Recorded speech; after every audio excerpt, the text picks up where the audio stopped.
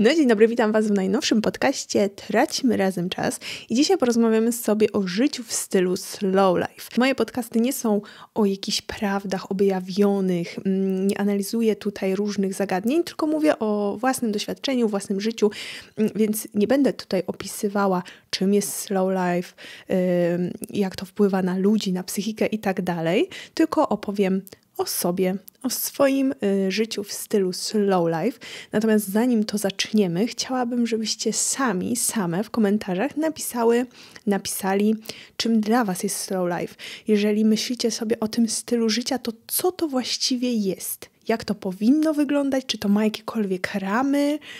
Y, czy coś jest slow life, a coś nie jest, czy będąc slow life są jakieś zakazy, nakazy, czy coś wypada, czegoś nie wypada i tak dalej. Bardzo bym chciała poznać Waszą definicję tego stylu życia, mm, bo myślę, że to może być ciekawe. Ja sama mam różne wyobrażenia tego stylu życia, a jednak w praktyce wygląda to zupełnie inaczej. Także teraz stopujemy ten podcast i piszemy szybki komentarz. Jeżeli już napisałyście i napisaliście swój komentarz i swoją definicję tego, jak wyobrażacie sobie slow life, to powiem Wam o tym, jak ja sobie to wyobrażam. I dla mnie slow life to mieszkanie w domku, na wsi.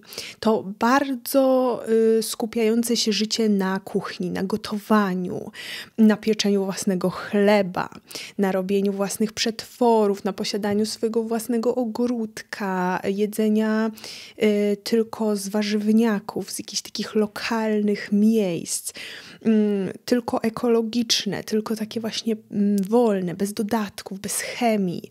Tak samo y, pranie, takie proste, mm, naturalne, tak samo tkaniny, naturalne, tak samo sprzątanie domu, naturalne. To jest dla mnie czytanie książek, odłożenie telefonu. Wyobrażam sobie to jako właśnie taką rodzinę w domku, która żyje tak ekologicznie. To jakoś mi się tak e, łączy w tej mojej wyobraźni. I dodatkowo, że starają się wszystko robić od podstaw, że nie ma tam miejsca na gotowce, nie ma miejsca na sieciówki, na jakieś takie rzeczy dla plepsu. Tam jest tylko i wyłącznie miejsce na wysoką jakość, na mm, jeżeli knajpki, to tylko i wyłącznie te takie niszowe, mm, picie kawy, to tylko speciality. Jeżeli jakieś herbaty, to też tylko wyselekcjonowane. Jeżeli y, jakieś napoje, to tylko własne kompoty. I to jest, ta moja definicja kończy się na tym, że to jest domek, to jest ręczna robota, to jest natura, to jest jakość. I to jest jakieś takie stawianie się w kontrze do dzisiejszego świata. E, I to jest taka moja definicja. Natomiast w praktyce uważam, że ja żyję e, w sposób dążący do tego, by być slow life, e, ale mieszkam w mieście i te moje przeniesione szablony z jakiegoś takiego mojego mm, wymyślonego świata do tego teraźniejszego, do tego rzeczywistego, do tego, w czym żyję, mm, jest inne. Jest nie powiedziałabym, że zupełnie inne, ale bardzo różni się od tej definicji, którą Wam powiedziałam przed chwilą, bo ja żyję w mieście, ja pracuję, mm, jeżdżę samochodem, jesteśmy ogólnie dosyć zabiegani, a mimo wszystko jesteśmy w tym slow, bo moim zdaniem to wszystko zaczyna się w głowie. To jest odpuszczanie, to jest docenienie siebie, Mm, to jest bycie z sobą w prawdzie, to jest pytanie siebie, co ja chcę, czego ja potrzebuję, czego ja nie chcę. I tak jak w definicji takiej, mm, jak ja postrzegam y, slow life, widzę tylko i wyłącznie takie zewnętrzne rzeczy, bardzo widzę y, to, czym się otaczamy. To tak w swojej definicji najbardziej widzę wnętrze, najbardziej widzę siebie, najbardziej widzę potrzeby bycie dobrym dla siebie. I to jest w tym wszystkim najpiękniejsze, że wyobrażenia wyobrażeniami, ale to my jesteśmy w tym wszystkim najważniejsi. Cudowna sprawa. Ten podcast ma taką formułę, że ja y, tworzę te wszystkie myśli na podstawie pytań, które zadaję na Instagramie mm, i tam sprawdzam, testuję, co Was najbardziej w tym interesuje, intryguje i na co mogłabym odpowiedzieć, więc jest to swego rodzaju y, QA, ale jednak mm, w takiej bardziej płynnej formie. I jednym z ciekawszych pytań było to, czy da się być slow life nie pracując w internecie. I z jednej strony ja uważam, że ja nie mogłabym być slow life w niczym innym niż w tej pracy, którą mam, czyli YouTube, Instagram, czyli tworzenie rzeczy kreatywnych we swojej własnej przestrzeni, mm, bez żadnego człowieka nade mną, bez żadnego dyrektora, bez żadnych zadań yy, przypisywanych mi z góry. Natomiast tak ogólnie wydaje mi się, że właśnie slow life i internet to zupełnie nie idzie w parze. To y, jest wręcz wykluczenie, ale to jest wykluczenie mm, w tej formie mojej wyobrażonej slow life, bo to się nie wyklucza. Tak naprawdę w moim życiu to się absolutnie nie wyklucza, ale w moim wyobrażeniu tego życia bardzo. W moim wyobrażeniu poza domkiem na wsi jest y, również odcięcie od internetu. Y, także no zupełnie to się nie wpisuje. Moje życie, moje przemyślenia, moje bycie z sobą nigdy nie byłoby tak pełne, tak slow, gdybym pracowała u kogoś, gdybym miała mm, unormowane godziny pracy, gdybym chodziła na studia, gdybym y, robiła coś u kogoś, bo ja przeżyłam szkołę, przeżyłam kilka miesięcy studiów, mm, przeżywałam różne tam krótkie prace i mnie to absolutnie wykańcza, ale to też jest powód, dla którego ja jestem slow, czyli weszłam w siebie, pomyślałam sobie, co ja chcę, co sprawia mi radość, co sprawia, że nie jestem codziennie spięta, nie jestem przebodźcowana, nie jestem yy, tak zesztywniała, nie jestem cały czas senna. I w moim przypadku ja jestem totalnie indywidualistką. Ja potrzebuję robić tylko i wyłącznie to, co mnie interesuje, robić tylko i wyłącznie to, co uważam, że ma jakiś cel, jakąś perspektywę, jakąś przyszłość, jakiś pożytek. I nie ma absolutnie żadnej możliwości, żebym ja się cieszyła y, zrobienia czegoś, co mi ktoś każe, a tego nienawidzę.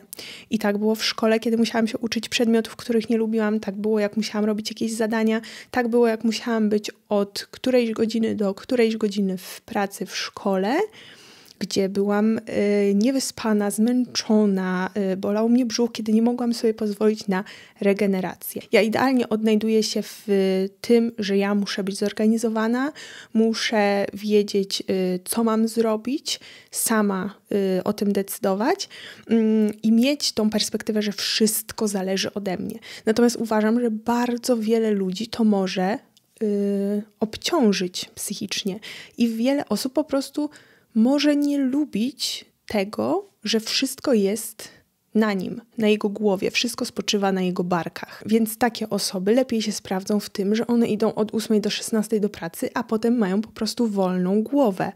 Mm, więc uważam, że slow life można odnaleźć we wszystkim.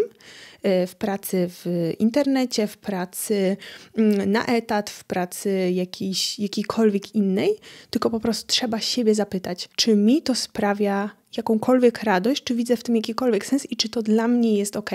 Bo wydaje mi się, że gdyby nawet robić internety, ale w tym się męczyć, y, być y, po prostu ściśniętym, y, mieć spięte ciało, mieć zamknięty umysł na po prostu cokolwiek innego niż opinie, komentarze, mm, robić wszystko pod publikę, no to uważam, że to jest przeciwieństwo slow life.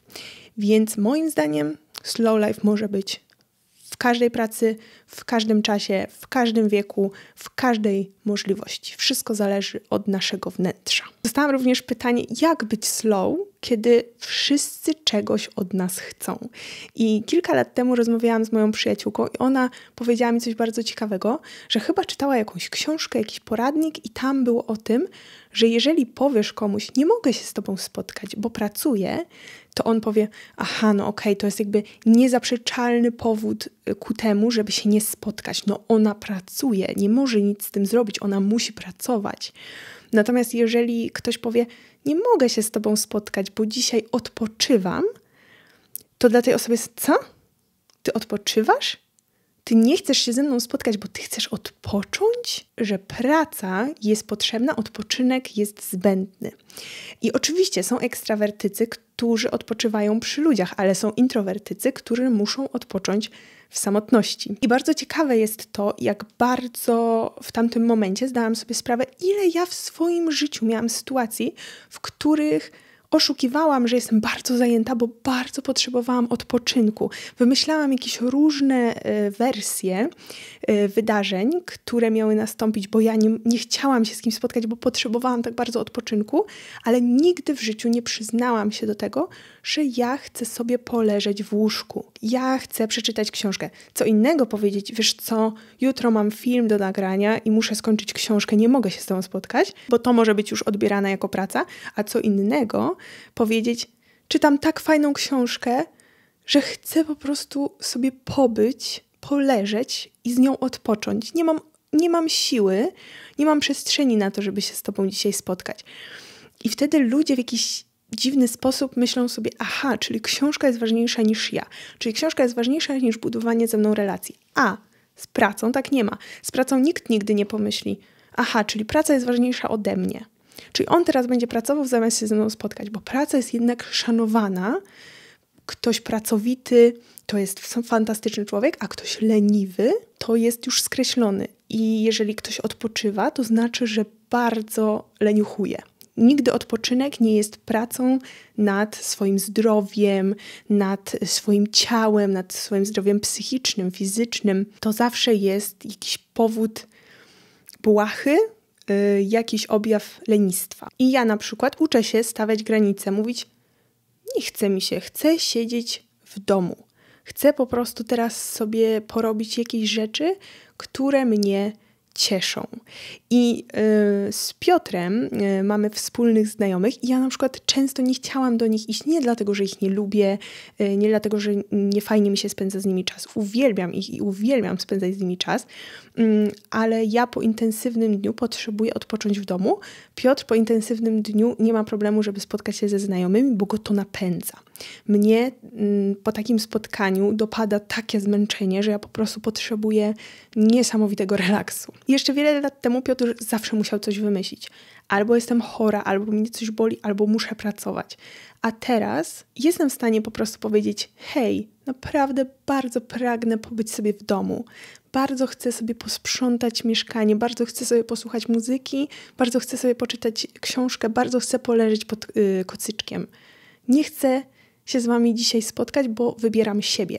I to wybieranie siebie to jest cudowna sprawa. Stawianie granic to jest po prostu coś, co odkrywam i co jest niesamowite.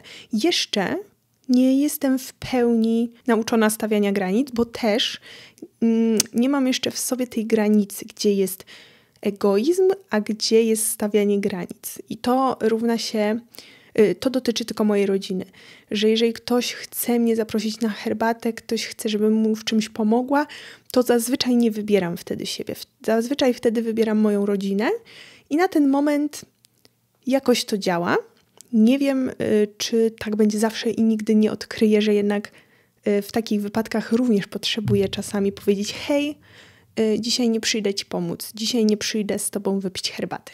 Na razie wygląda to w taki sposób, ale nie oszukujmy się, żyjemy też w społeczeństwie y, i fajnie, że żyjemy w społeczeństwie, fajnie, że nie jesteśmy oso- odosobnieni, fajnie, że my sami mamy taką y, możliwość, żeby czasami kogoś y, o coś poprosić, żeby czasami kogoś zaprosić, żeby czasami kogoś do czegoś namówić. To jest super, ale fajnie, jeżeli nawet jeżeli ja o coś proszę i chciałabym, żeby ktoś się zgodził, to żeby zgodził się, bo on chce się zgodzić, a nie dlatego, że nie umie stawiać granic. Chciałabym, żeby ktoś mi coś dał, bo chce mi dać, a nie dlatego, że musi mi dać, bo są święta, bo są urodziny, mm, bo cokolwiek. Chciałabym, żeby ktoś, kto zostanie namówiony, został namówiony, bo został przekonany i sam tego zechciał, a nie dlatego, że już nie wiedział i nie miał argumentów, żeby mi odmawiać. I wiecie, wydaje mi się, że ogólnie slow life przynajmniej w moim wykonaniu, to nie jest bycie tylko z sobą, bycie na pustyni i nie spędzanie z ludźmi czasu. To fajnie się z ludźmi spotykać, fajnie spełniać ich oczekiwania, mm, zdrowe oczekiwania, fajnie sobie z nimi posiedzieć, fajnie im pomóc, fajnie być jakimś takim zagonionym y, do mm, tworzenia relacji. To jest super. Slow life absolutnie nie wyklucza przyjaźni, znajomości, smoltoków, mm, jakiegoś takiego bycia na chwilę lub na dłużej. Może z mojej perspektywy, znaczy mm, z tej perspektywy, którą Wam tutaj daję na YouTubie, y, wydaje Wam się, że jestem jakąś taką oazą, y, z taką samotną wyspą, takim mędrcem, który tylko siedzi i wymyśla sobie nowe challenge, gotuje, czyta książki i leży pod kocem. No ale ogólnie tak nie jest. mam nadzieję, że troszeczkę macie taką świadomość, że ja też mam y, znajomych, ja też mam rodzinę, y, też mamy imprezki jakieś rodzinne, też mamy duży, y, różne wyjścia, też spędzamy bardzo dużo czasu poza domem, ale po prostu tego nie nagrywam, bo to jest moja część prywatnego życia i to są też inni ludzie, którzy po prostu y, nie wiem, czy nie chcą być nagrywani, ale ja nie chcę ich nagrywać. Ja chcę wtedy spędzać czas bez pracy, chcę spędzać czas wolny mm, i nie potrzebuję nagrywać z, z każdego spotkania z kimś vlogma, vlogasków.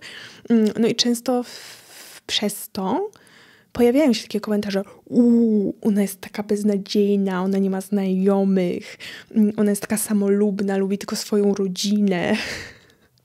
Albo jakieś inne takie brednie. Tak nie jest. Mój slow life absolutnie nie powoduje, że ja nie spędzam czasu z ludźmi. Wręcz przeciwnie, ja mam ten czas na ludzi.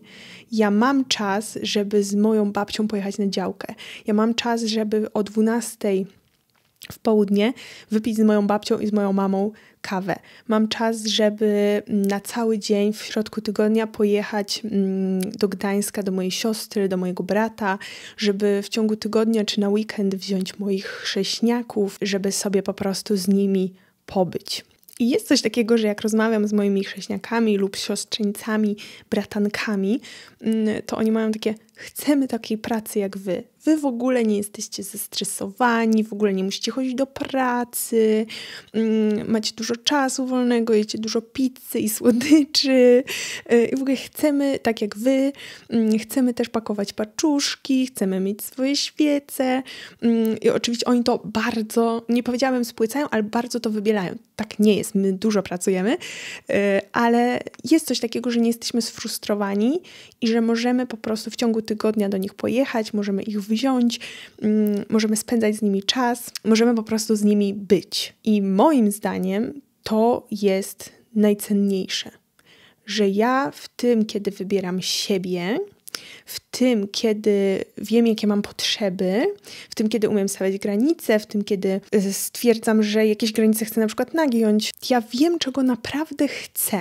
To jest takie piękne, że mam ten taki powolny czas, powolne spędzanie czasu, życia, i ja mam czas, żeby się zastanowić: hej, może pojedziemy tu, bo mam taką chęć spotkania się z kimś, albo nie, dzisiaj, dzisiaj nie idę, bo dzisiaj nie chcę i nie mam w sobie oczekiwań, ktoś przestanie mnie przez to lubić, ktoś tego nie zrozumie, yy, ktoś się na mnie obrazi. Każdy może mieć swoje emocje, każdy mi, może mieć, podejmować swoje decyzje. Jeżeli, nie, jeżeli chce się na mnie obrazić, bo ja wybieram siebie, no to jest jego sprawa. Chociaż nie wiem, czy kiedykolwiek miałam taką sytuację, żeby ktoś się na mnie tak obraził, że ja czegoś nie chcę. Wydaje mi się, że to się zazwyczaj nie zdarza. Możliwe, że ludzie też cały czas teraz ode mnie nic nie chcą, bo ja po prostu spędzam czas z ludźmi, którzy wiedzą, jak ja żyję. Wiedzą, co lubię, ile mam czasu, jak spędzam ten czas, wiedzą, kiedy mogą mnie poprosić, kiedy nie wypada mnie poprosić. No wiecie, wiecie, wiecie o co chodzi. Mm, także co w momencie, kiedy ludzie cały czas coś od nas chcą? Ci ludzie chcą, bo my cały czas im pozwalamy chcieć. Tak to odkrywam. Ja wiem na przykład, jakie są moje koleżanki, jakie są moje przyjaciółki, wiem, do której kiedy mogę pójść, wiem, która bardziej lubi słuchać, a wiem, która lubi bardziej gadać, a wiem, z którą mogę poszaleć, a wiem, z którą mogę odpocząć, wiem, z którą mogę się spotkać wśród ludzi, a wiem, z którą lepiej, jak spotykamy się w jakiejś po prostu y, o, osamotnieniu, y, żeby być tylko we dwie. Wiem w rodzinie, kto ma dużo czasu, kto mi może pomóc, kto może gdzieś pójść, a kto lepiej, żeby mi pomógł jakoś w domu, kogo mogę podwieźć, a kto może podwieźć mnie. No wiecie, są po prostu różne sytuacje i wydaje mi się, że jeżeli jesteśmy takimi ludźmi, ludźmi, którzy cały czas są otwarci i w sensie cały czas wszystkim pomagają, nie stawiając granic, to nie jest nic dziwnego i to nie jest wina ludzi, że cały czas do nas przychodzą. Jeżeli stawiamy granice, to ludzie wtedy wiedzą, ile mogą, a ile nie mogą. Jeżeli nie stawiamy granic, to myślą, że mogą bardzo dużo. I to niczyja wina. Po prostu my sami odpowiadamy za siebie i musimy wewnętrznie wiedzieć, gdzie jest nasza granica, gdzie jest nasz stop, ile chcemy dawać z siebie innym, a ile chcemy sobie dawać siebie. Tak tutaj mędrkuję dzisiaj, ale ten temat wewnętrznego życia, wewnętrznej relacji z samym sobą jest dla mnie tak istotny. Ja mówię y, o ludziach, ale mówię o sobie, nie? Jakby mówię tylko o sobie, więc może teraz zmienię tą narrację, będę mówić tylko jak ja mam, bo nie lubię mędrkować, y, więc tak ja stawiam granice i dzięki temu wysyłam ludziom czytelny przekaz, ile mogą mnie mieć. Sprytne podsumowanie. E, jeżeli chodzi o slow life, dużo było zagadnień, dużo było pytań o FOMO. FOMO to jest um, taki lęk przed tym, że coś się straci i to dotyczy social mediów i tego, że nie obserwujemy na bieżąco, nie skrolujemy, nie nie doświadczamy tych wszystkich y, newsów mm, nie czytamy wszystkich artykułów. I ja miałam w sobie bardzo duże FOMO. Y, kiedy jeszcze nie wiedziałam, że coś takiego istnieje, że tak, takie coś się nazywa. Ja, jak wiecie, jeżeli czytaliście moje buki, które Wam bardzo polecam, zostawiam link w opisie, y, to staram się dziennie siedzieć na telefonie 30 minut. Mm, I zawsze chcę sięgać po telefon w momencie, kiedy wiem po co. Nie lubię scrollować, nie lubię tak przeglądać głupio, bo to mi zajmuje strasznie dużo czasu, boli mnie wtedy głowa, jestem rozdrażniona. Mm, a kiedy kładę sobie rękę na telefon i mówię, co chcesz teraz zrobić? Sprawdzić maila. Co chcesz teraz zrobić? Odpisać e, widzkom. Co chcesz teraz zrobić? Odpisać na komentarze. Co chcesz teraz zrobić? Sprawdzić, ile masz subskrypcji. To to zajmuje sekundy, bo najwięcej czasu zajmuje scrollowanie. I kiedy ja sobie pomyślałam, czego ja się obawiam, że co ja mogę stracić, to zdałam sobie sprawę, że mogę stracić jakieś super ważne informacje influencerek. I pomyślałam sobie, nie jest to warte tego, żebym spędzała 8 godzin dziennie na telefonie. Nie jest to warte mojej wady wzroku, nie jest to warte mm, mojego tracenia czasu, nie jest to warte w ogóle, nie wiem, prądu, który muszę y, przekazać na naładowanie telefonu. To po prostu nie jest istotne, bo ogólnie Instastory wydaje mi się takim marnowaniem czasu. Uwielbiam oglądać YouTube'a, uwielbiam, że tam jest od początku do końca coś wyjaśnione, coś powiedziane. Yy, jest jakiś taki ciąg yy, i można sobie ten film włączyć w każdym możliwym momencie i to nas nie ominie. A jednak Instastory jest takie, że musi nas uzależniać, bo potem coś stracimy, bo czegoś nie będzie, bo jakąś historię ktoś powie raz i potem już jej nie powie, bo no, są takie momenty, w których których ktoś postanawia się oczyścić i powiedzieć to raz jedyny i już więcej nie. I wtedy nie jesteśmy poinformowani. I uważam, że u mnie takim tematem y, byłaby relacja z Kościołem. Każdy na to czeka. Każdy chce poznać moje zdanie, a ja tego nie mówię. I nagle jednego dnia bym powiedziała, a ktoś tego jednego dnia by mnie nie obserwował. U, wielka strata, bo więcej bym tego nie powtórzyła. Mm, więc jest to jakiś lęk, ale pomyślmy sobie, czy ta informacja, co myślę o kościele, jaką mam z nim teraz relację, jest warta tego, żeby tyle skrolować telefon? Nie.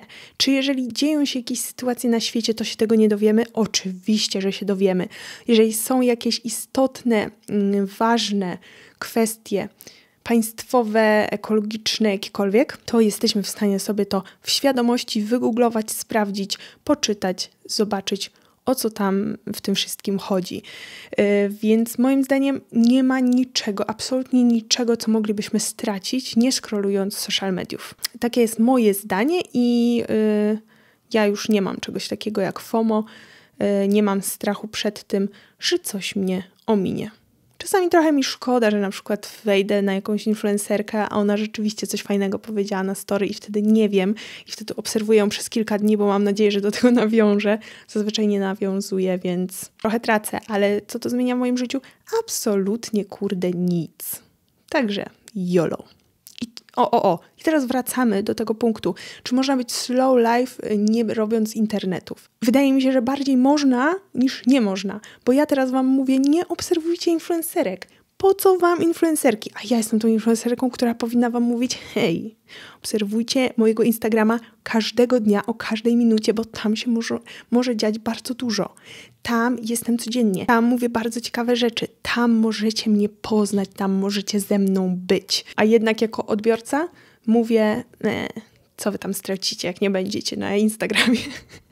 Więc no widzicie, taka jest to sprzeczność slow life i bycie w internecie. Musicie sami rozważyć, y, jak to wygląda, bo na przykład moje slow life jest takie, że lubię oglądać moje ulubione influencerki, moje ulubione instagramerki. Preferuję YouTube'a, bo on świadomie pochłania mój czas i świadomie decyduję się, ile go oddam na YouTubie. Mm, a Instagram jednak jest bardzo uzależniająco skrolujący. Taki wiecie, że więcej, więcej, więcej, więcej. Więc tak to wygląda. Jeżeli mnie znacie, jeżeli mnie obserwujecie, jeżeli czytaliście moje e-booki o przebodźcowaniu, to wiecie, że uwielbiam robić jedną rzecz na raz. Nic więcej. Jedna rzecz. I to się tyczy słuchania muzyki. Ja siedzę i tylko słucham muzyki. Sprzątam i robię tylko to. Ja gotuję i robię tylko to. Czytam, robię tylko to. Siedzę na komputerze, sprawdzam maile, sprawdzam tylko maile. Ja słucham audiobooków i siedzę i robię tylko to. Y, I czasami dostaję takie wiadomości, że boże, jakie marnotrawstwo czasu.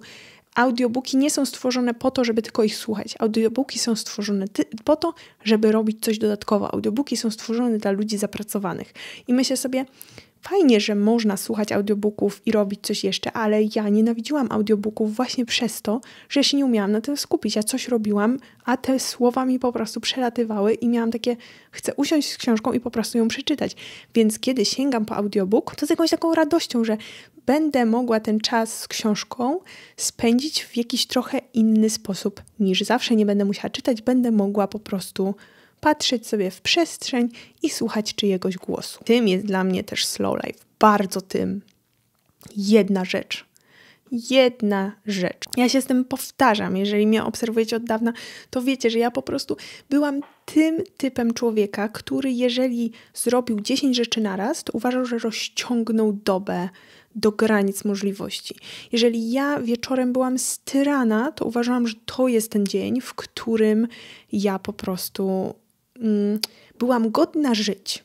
To już było aż tak grube, że ja uważałam, że, jest, że spełniam tą powinność życia, ten dar życia właśnie w taki sposób, że po prostu, tak wiecie, wypełniłam ten dzień, tak przepracowałam. Słuchanie muzyki, y, sprawdzanie maili, pisanie dodatkowo bloga, y, robienie y, w tym samym czasie zdjęć i jeszcze na czwartym po prostu ekranie oglądanie jakiegoś filmu i jeszcze jedzenie przy okazji na szybko i jeszcze dzwonienie do kogoś i to i tamto, no to dla mnie chleb powszedni.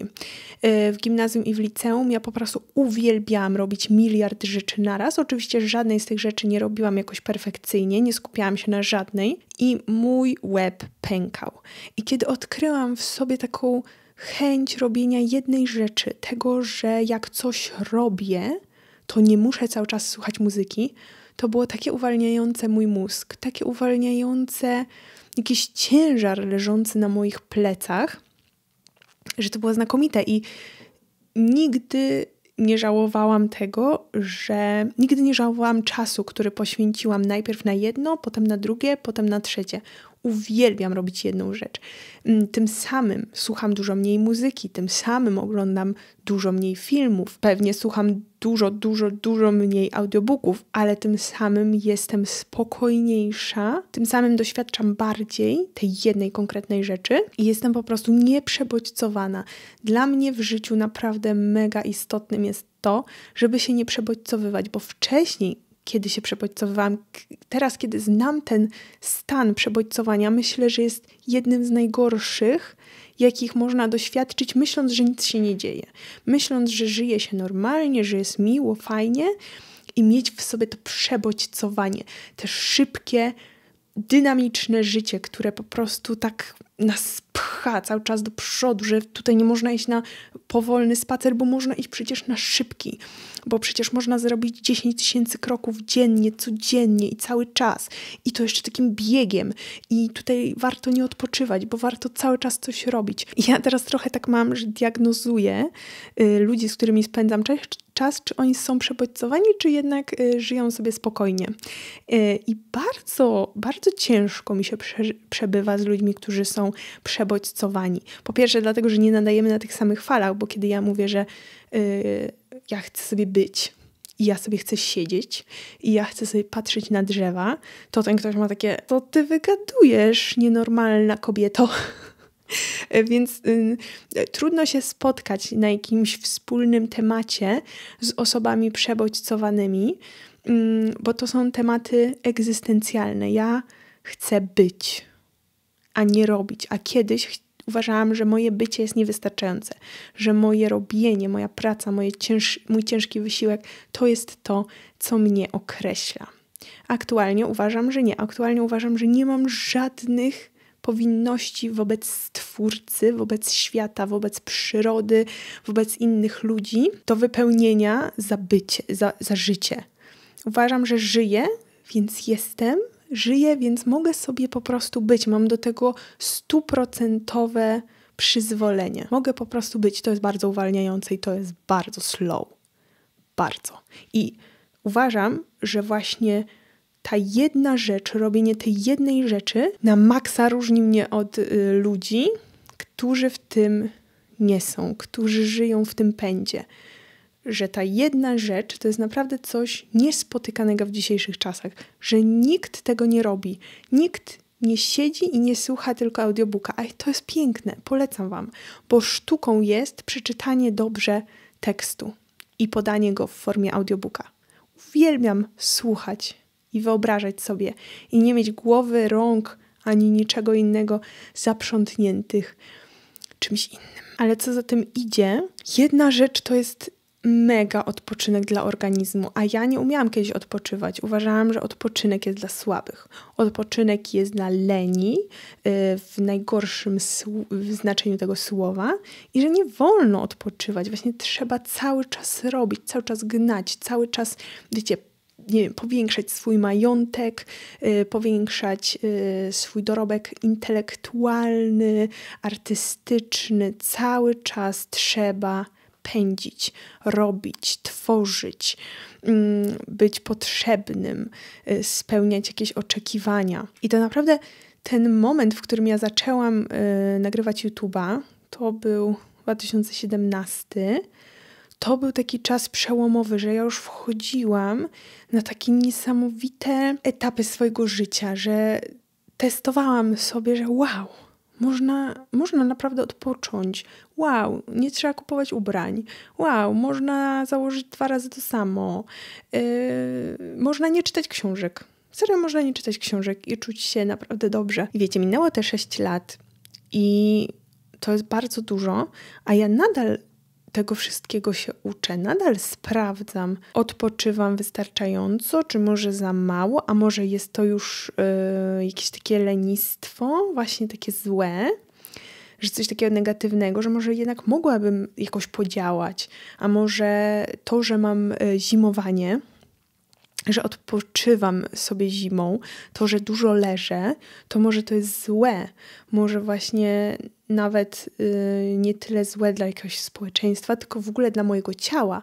Czy może tego nie jest za dużo? Ta dziewczyna sprzed sześciu lat, myślę, że bardzo by mnie uściskała i powiedziała: Boże, gratuluję. Gratuluję, że doszłaś do tego momentu, że ty się zastanawiasz, czy nie odpoczywasz za dużo. Pamiętam, y, jak trzy lata temu pisałam e-booki i pamiętam ten moment jeszcze zanim zaczęłam pisać i który spowodował, że zaczęłam pisać, że Piotr robił remont w Krynicy w naszym domu letnim, a ja leżałam i mówię, nie chcę już scrollować YouTube'a. Nie chcę już oglądać rzeczy, które mają mnie odmurzyć i mam niby na, w tym momencie odpocząć. Już tego nie chcę, już nie wiem co robić. I pamiętam, że leżałam w pokoju na poddaszu i tam było takie okno. I mówię, okej, okay, będę teraz sobie po prostu leżeć i patrzeć w niebo i po prostu będę. I pamiętam, że to było dla mnie nie do przejścia. Ja leżałam i myślę, okej, okay, teraz patrzę w niebo, okej. Okay ok, teraz patrzę w niebo, dobra, teraz nie używam telefonu, dobra, fajnie, fajnie, teraz dobra, patrzę w to niebo, dobra, dobra, patrzę w niebo, dobra, patrzę w niebo, no, no, no, fajnie, patrzę w niebo. I to były moje myśli. Pamiętam, że potem poszłam na pierwszy spacer sama, pierwszy spacer sama. Masz 23 lata i idziesz pierwszy raz sama na spacer. To jest żenujące moim zdaniem.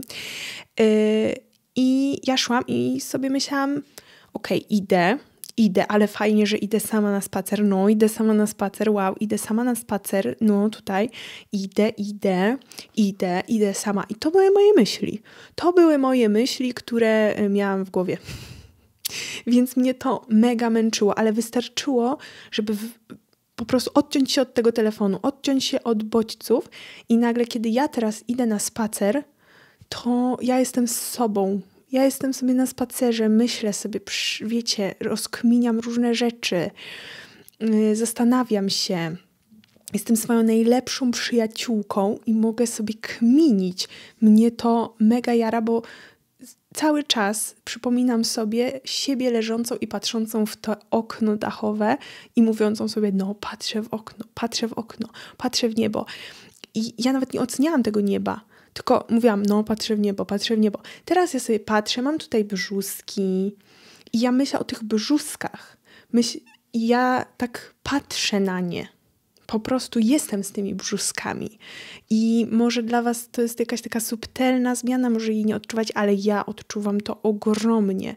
I zawsze jak sobie leżę, zawsze jak sobie po prostu jestem, to przypominam sobie to okno dachowe i myślę sobie, ale progres. Trzy lata i tak nauczyłaś się odpoczywać. Gratulacje. Ale oczywiście, tak jak w minimalizmie, trochę czasami są takie myśli, że chcę kupować, chcę kupować, nie jestem biedna. Tak samo przy slow life czasami są takie myśli, chcę szalonego życia, chcę dużo szalonego życia, chcę żyć intensywniej i mocniej i szybciej. I te myśli czasami się pojawiają. Myślę, że Piotr ma je częściej, że na przykład yy, Piotra kolega do niego dzwoni, yy, a Piotr mówi, a my akurat robimy przetwory, a my akurat jedziemy na działkę, a my akurat sadzimy aronie, a akurat sobie tutaj pijemy kompocik. Że jest to jakieś takie emeryckie życie. Ja już będąc małą dziewczynką zawsze zazdrościłam moim dziadkom, że oni po prostu nic nie muszą. Oni mogą sobie siedzieć, oni mogą pić kawkę, mogą oglądać telewizję, mogą jeść sobie słodycze z barka yy, takiej wielkiej szafki ze słodyczami mojej babci i przychodziłam do nich i myślałam sobie, wow, mają takie powolne, spokojne, dobre życie. I ja miałam kilka lat już tak myślałam o nich. I zawsze jak sobie myślę, yy, mam emeryckie życie, to potem sobie myślę, zawsze go chciałaś. Zawsze chciałaś tego życia. Więc spełniłaś swoje marzenie. Więc jest coś w tym takiego. Sami nam ludzie mówią, że wy już tak żyjecie staro, młodzi, starzy. Myślę sobie, że to nie jest nic złego, to jest bardzo dobre bardzo dobre, bardzo to lubię, że mam czas na to, żeby też być tak z naturą, z działką, z ekologią, z rodziną, że właśnie mogę sobie najpierw zasiać jakieś warzywa, potem je sobie zebrać, potem je przetworzyć, że to jest takie naturalne, normalne, takie powolne, ale takie zwykłe, takie dobre, takie właśnie jak powinno być. Tak mi się to wydaje. Czasami sobie myślę, że o szkoda, że nie mam szalonego życia, ale ja nie chcę mieć tego szalonego życia. Ja już miałam szalone życie. I mi już wystarczyło. Ja teraz jestem mega szczęśliwa z takim życiem, jakie mam teraz. Wtedy byłam szczęśliwa z takim życiem, jakie miałam wtedy. Nic mnie nie trzyma przed tym, żebym miała te życie inne. Mogę sobie je w każdej chwili zmienić, ale nie chcę. Pamiętam, że ostatnio w Warszawie chyba byliśmy i szliśmy przez mm, miasto. 14, 12, jakoś mega wcześnie. Albo mega późno. Nie pamiętam, ale albo to było skrajnie. Albo jakaś 14, 12, albo 23, pierwsza w nocy. I szliśmy z Piotrem przez mega wypełnioną y, jakąś knajpkę. Tak, to była jakaś 23, pierwsza w nocy. I my już szliśmy do hotelku, żeby sobie to już poleżeć. I szliśmy przez taką knajpkę wypełnioną ludźmi. Ludzie siedzieli sobie na na chodniku z piwem w ręku, sobie gadali, poznawali nowych ludzi. I my przez nich przeszliśmy i mieliśmy takie wow, ale im zazdrościmy wow, że ci ludzie po prostu sobie teraz imprezują. Ale to jest niesamowite. Gdybyśmy chcieli, gdybyśmy tego pragnęli, to byśmy tam wrócili, zamówili piwo i zaczęli z tymi ludźmi rozmawiać. A my tego nie chcieliśmy. I jest w nas, w ludziach, ale w nas trojanowskich, yy, ogólnie taka, że czasami czegoś zazdrościmy i kiedy przychodzimy za sekundę z odpowiedzią, to to zróbmy, to my tego nie chcemy. I to jest znowu wejście w siebie, jest ten slow life, na zasadzie o, tak bardzo komuś zazdroszczę, to to zrób. Nie, nie chcę, bo to nie jest moje życie, ja tak nie chcę. Czyli po prostu podoba ci się jego życie i może ci się podobać jego życie, ale mu go nie zazdrościsz, bo go nie chcesz. Nie, może nie jest tak, że mi imponują różne życia, bo imponuje to takie do, duże słowo, ale zachwy o, zachwycają mnie różne życia. Niektórzy żyją szybko, niektórzy robią kariery, niektórzy podróżują, niektórzy nie mają domu, tylko właśnie są takimi żyjącymi w namiotach, żyjącymi po ludziach, yy, podróżującymi z jednym plecakiem. Innych, innych niż ja. I tych typów ludzi, tych typów życia jest mnóstwo, miliard właściwie, każdy ma swoje, i mnie te życia często zachwycają e, intrygują, ja chcę je podglądać, chcę o nich słyszeć, chcę się dowiadywać, ale to nie znaczy, że ja każde to życie chcę. Ja mam swoje i ja je uwielbiam. Uwielbiam to, że sobie siedzę w domu, że o 12 byłam na kawce u babci, jutro sobie jadę na działeczkę, yy, a pojutrze sobie jadę nad morze. Oczywiście sprostowanie. Poza tymi rzeczami również ciężko pracujemy, nagrywamy YouTube'a, pakujemy paczki, mamy dwie firmy, robimy świece, robimy dyfuzory, robimy mgiełki mm, i mamy pełnoetatowe prace. Tak jakby co. Było też pytanie, co odbiera slow life? Powiem Wam, że nic. Tak jak minimalizm nic nie odbiera, mnóstwo rzeczy daje, mimo że wszystkiego jest mniej. I w moim życiu, jeżeli cokolwiek mi coś odbierało, to ekologia to zero waste. Zero waste było najgorsze na świecie, a właściwie te mm, oczekiwania wobec mnie, ale również moje oczekiwania wobec mnie. To było po prostu nierealne, że tam chodziło tylko o to, żeby było jak najmniej czegokolwiek, żeby tak strasznie wyzbyć się mm, tego życia, które mamy, które też chcemy, do którego jako ludzie, ludzkość dążyliśmy. Mm, a w tych wszystkich innych rzeczach, takich jak minimalizm, takich jak slow life, my sobie czegoś czasami odmawiamy, ale dzięki temu jest lepiej. I to lepiej dla jednostki, dla mnie samej, a nie dla ogółu, dla moich prawnuków, dla moich dzieci, na przyszłość. To jest po prostu tu i teraz. To jest tak namacalne, to jest tak dobre, to daje mi takie efekty, że absolutnie nie ma nic, co slow life by zabierało, bo to nie jest tak, że na przykład ktoś pyta mnie, hej, chcesz jechać ze mną na szaloną wycieczkę dwudniową yy, z plecakiem, autostopem? To ja nie mówię, nie, bo ja jestem slow, ja muszę powoli, łódką, delikatnie, tylko mówię sobie, albo mam na to ochotę, albo nie mam, bardzo chcę, albo nie chcę. Mm, jeżeli chcę sobie zjeść gotowca, no to na to składa się mnóstwo rzeczy, bo plastik, bo niezdrowe, bo to, bo tamto, ale jeżeli mam ochotę, to nie mówię sobie nie, bo w slow life powinnam sama zrobić chleb, tylko mówię sobie tak, chcę sobie zjeść gotowca i tyle. Więc absolutnie nic, nic, absolutnie nic, jedynie dodaję. I słuchajcie, przechodzimy do sekcji premium. Mam tutaj goździkowy kominek, naszą piękną świecę oraz moje okulary, także gong w goździkowy kominek. Inspirowany Tomaszem Raczkiem. Mam nadzieję, że mój podcast jest choć odrobinę tak doskonały jak jego filmy o filmach. I w sekcji premium porozmawiajmy o slow life, a finansach. To jest gruby temat. To jest temat kontrowersyjny. Myślę, że wiele osób tego nie ogarnie, ale slow life i finanse się wykluczają. Dla mnie się wykluczają, niestety. Ja zaczęłam być slow w momencie, kiedy powiedziałam: OK, pieniądze nie interesują mnie. Naprawdę.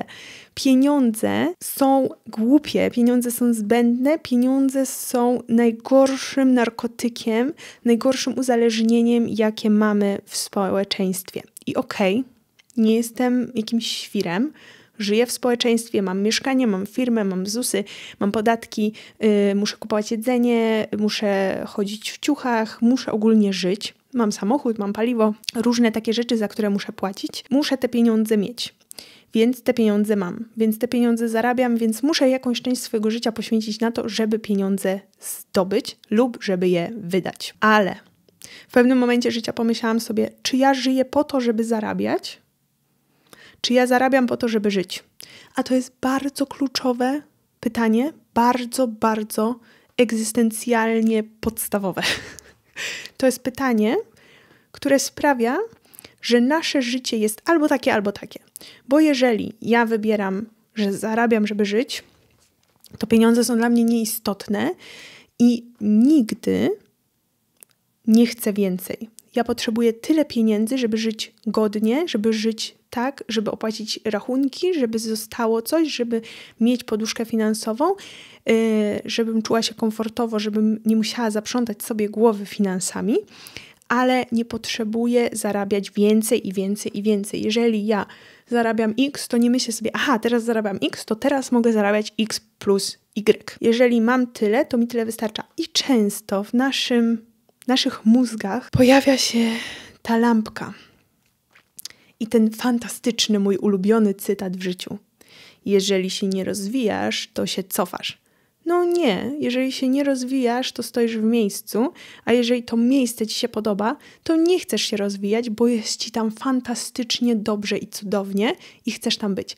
I ja jestem tą taką roleczką rzuconą w przestrzeń, która do pewnego momentu się rozwijała, w pewnym momencie się zatrzymała i pomyślała sobie, kurde, jak to jest ekstra. Chcę tutaj sobie pobyć, chcę tutaj zostać. Nie wiem, czy na zawsze nie przykleję się do tej ziemi, ale chcę sobie tu pobyć, odpocząć, poleżeć, pobyć. Zobaczymy, czy później polecę dalej, czy zostanę. I dla mnie bardzo istotne jest to, że w mojej pracy, w której ja sobie sama y, dyktuję warunki, mogę powiedzieć: OK, stop, mogłabym tu zarobić jeszcze X, ale mogę też sobie pojechać na wakacje, mogę sobie odpocząć, mogę sobie pobyć, to ja po prostu już tego nie dorobię, już tego nie zarobię. Ja już sobie tak będę. To jest doskonałe.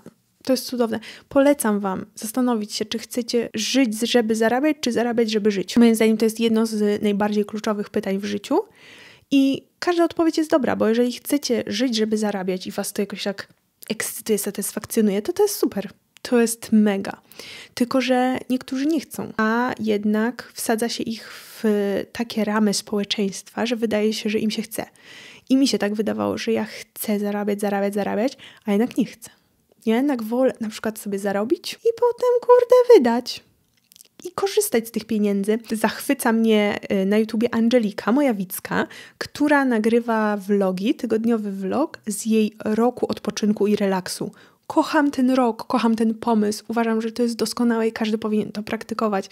Czyli zarobiła sobie pieniądze i teraz żyje z tych pieniędzy, które ma, i ona sobie teraz żyje, odpoczywa i relaksuje się. I oczywiście stymuluje się, mm, wyjeżdża sobie na podróż, w podróże, doświadcza sztuki, mm, nagrywa sobie YouTube'a, gdzie u mnie to jest pełnoetatowa praca. U niej to jest na ten moment odpoczynek i relaks, więc w ogóle ekstra. Yy, I jest. I korzysta z pieniędzy, które ciężko zarobiła. Kocham to. Podlinkuję Wam w opisie po prostu ten kanał, bo ja jestem zachwycona i oglądam z przyjemnością. I podoba mi się to. Podoba mi się, że powinniśmy dojść do punktu, w którym są dwie opcje. Albo zarabiasz, żeby żyć, albo żyjesz, żeby zarabiać, i dwie są dobre.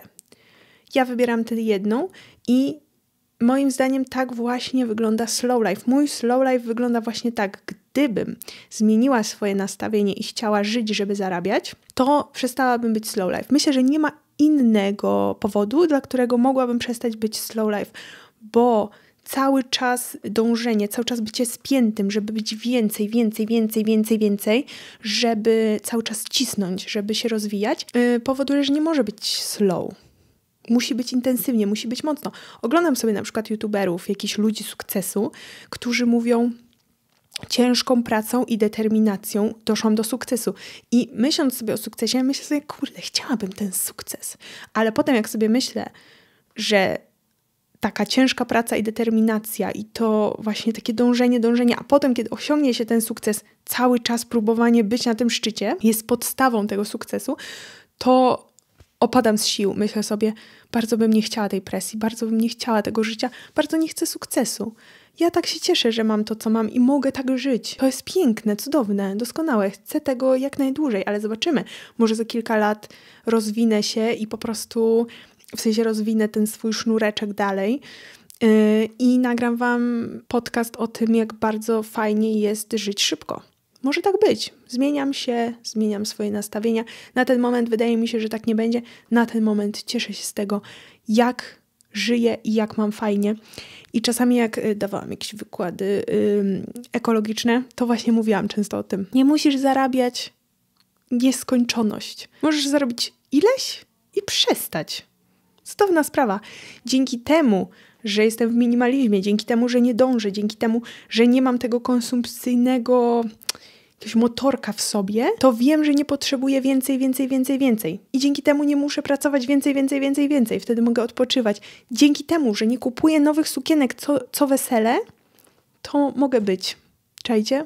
To jest tak złożone to zaczyna się od tego t-shirta, to zaczyna się od tej sukienki, yy, od tych potrzeb, które mamy, bo ktoś nam powiedział, że powinniśmy je mieć. I wtedy musimy harować i robić coraz więcej więcej. Tragedia to jest ogólnie. Ale co wam powiem, życie nie jest łatwe.